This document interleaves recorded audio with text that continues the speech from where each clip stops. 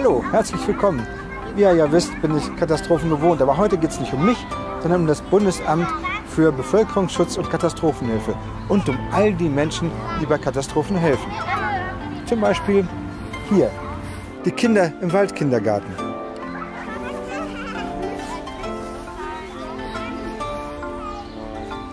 Die spielen hier, haben Spaß, aber sie wissen etwas nicht. Etwas, das man hier weiß. Das ist die Zentrale des Deutschen Wetterdienstes. Hier werden Wetterberichte gemacht. Dazu muss man erstmal wissen, wie das Wetter heute ist. In solchen Wetterstationen wird das Wetter beobachtet. Windstärke und Windrichtung werden gemessen, Temperatur und Feuchtigkeit, Luftdruck, Wolkenhöhe, alles Mögliche. Nicht nur am Boden, auch in der Luft. Von Flugzeugen zum Beispiel. Von Bojen auf dem Meer, von Wetterballons, von Satelliten und Regenradarstationen. Eine riesige Menge von Daten ist das, die da beim deutschen Wetterdienst ankommt. Zahlen über Zahlen. Aus der ganzen Welt. Wie wird man mit solchen Zahlenmengen fertig? Da hilft nur der Computer. Und beim deutschen Wetterdienst brauchen Sie einen besonders großen. Der macht aus den ganzen Zahlen Wetterkarten für heute und die nächsten Tage. Frau Anger macht dann den Wetterbericht. Heute sieht sie, dass ein Orkan auf uns zukommt. Das gibt sie natürlich sofort an Herrn Schappert weiter. Der ist für Unwetterwarnungen zuständig. Rot ist der größte Teil von Deutschland. Da ist Orkangefahr, aber auch anderswo kann es sehr stürmisch werden. Da auf dem Satellitenfilm ist zu sehen, wie der Orkan kommt von Nordwesten. Im gemeinsamen Melde- und Lagezentrum Bund und Länder haben sie die Warnung auch bekommen und werden tätig. Auf der Internetseite des Bundesamtes für Bevölkerungsschutz und Katastrophenhilfe werden Warnungen und Ratschläge veröffentlicht. Auch im Radio wird die Unwetterwarnung verbreitet. Und hier noch eine Unwetterwarnung des deutschen Wetterdienstes. Der deutsche Wetterdienst warnt aktuell vor Orkanböen in weiten Teilen Deutschlands. Zu ihrer eigenen Sicherheit sollten sie nach Möglichkeit den Aufenthalt im Freien meiden und lose Gegenstände rund um Haus und Garten sichern. Also zum Beispiel Mülltonnen dahin räumen, wo sie nicht umgewehrt werden können. Durch den Wald gehen und Fenster schließen. Auch die Polizei weiß natürlich Bescheid und hält die Augen offen. Was Großartiges passieren könnte. Wer die Nummer 112 gewählt hat, kommt hier an, bei der Leitstelle der Feuerwehr. Hier werden die Anrufe auf der 112 angenommen. Es wird gefragt, was, wann, wo passiert ist.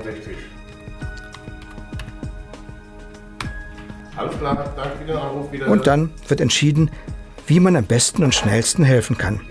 Und vor allem, wer das tun soll. Für Einsätze mit schwerem Gerät ist das Technische Hilfswerk, THW, zuständig. Die haben die großen Maschinen.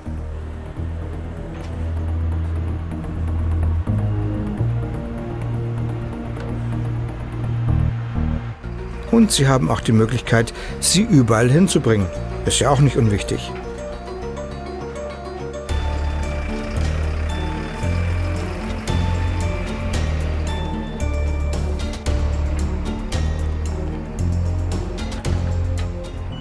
Die Jungs vom THW stehen schon mal bereit. Wenn es bei einem Orkan Verletzte gibt, braucht man mehr Krankenwagen als sonst. Hier beim Arbeiter-Samariter-Bund checken sie nochmal alles. Sind noch alle Medikamente da? Vielleicht welche abgelaufen? Und wie sieht es mit dem Verbandszeug aus? Und wie steht es mit dem Beatmungsgerät?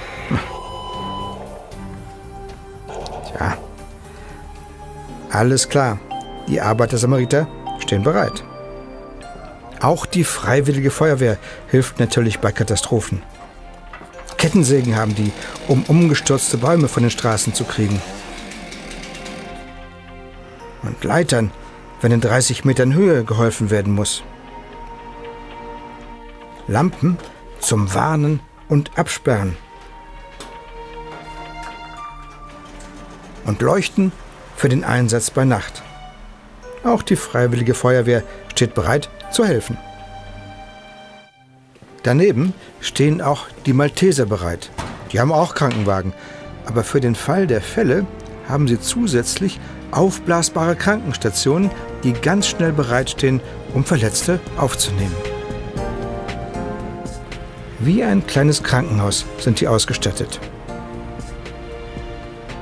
Alles klar bei den Maltesern.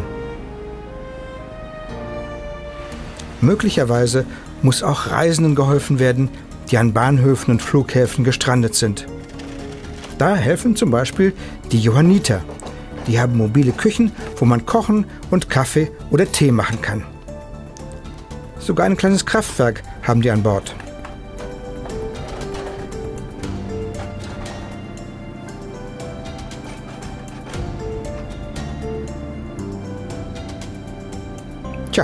Alles klar zur Essensausgabe im Restaurant zum Johanniter.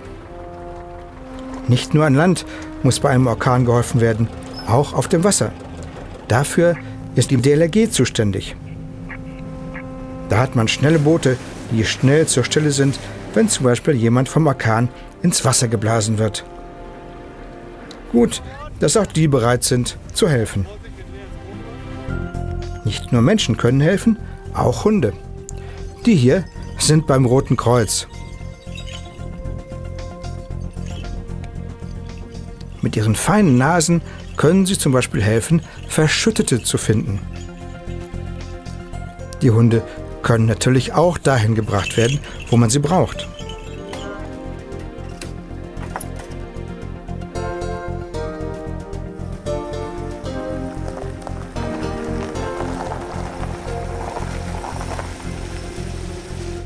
Die Hundestaffel des Deutschen Roten Kreuzes steht bereit, beim Orkan zu helfen.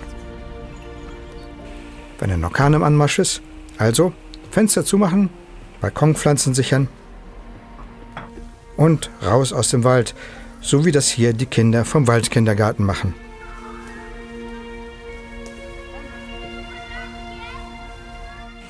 Tja, auch ich sollte machen, dass ich aus dem Wald verschwinde.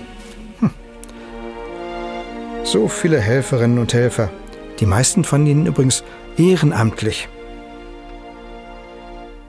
Da kann ich mich zu Hause aufs Sofa setzen und mir den Orkan im Fernsehen angucken. Oh, ganz schön was los. Da kann viel passieren.